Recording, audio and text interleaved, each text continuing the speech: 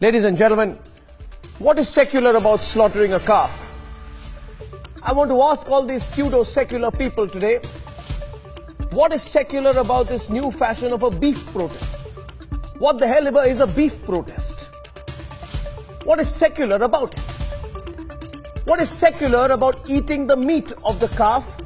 You won't talk about prices, but you'll make this an issue. Jobs are unavailable today. There is no achhe din for the common man.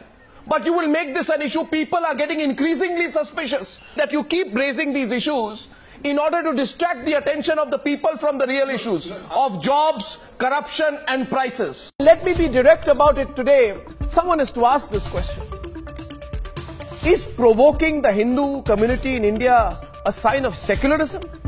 Is provoking Hindus secular? I, I, I don't even want to come into the religious angle of this. Because for me, this is not a religious issue, though it is very clear that you are going to try and use the food issue to divide people on the basis of religion. I'm not going to discuss the religious issue. Is deliberately trying to offend the Hindu community secular? One second, please. One second. One second. Just, just take a deep breath. One minute. You're a Hindu. I am a Hindu. There are many people on this panel who are Hindus.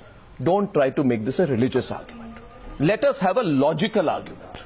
Okay? A charge being put on the news hour tonight. If it is a religious issue, the question I want to ask you, right? Why don't you ban fish? Because the fish was an avatar of Vishnu, right? Why don't you ban mutton? Because Gandhiji was a vegetarian who drank goat's milk. And we believe in Mahatma Gandhi. Why don't you ban pork or alcohol? If it's a question of religious sensitivities, religious sensitivities of everyone matter. Then ban pork and alcohol because Muslims disapprove of both, many of them. Why don't you ban both? If it is a religious argument. But if slaughtering an animal or eating beef by some, then I will stand against it. Then I will question. Right? So this is all a distraction. You're encouraging the slaughterhouse business. You're brought down duties of items used to slaughter cows and bullocks.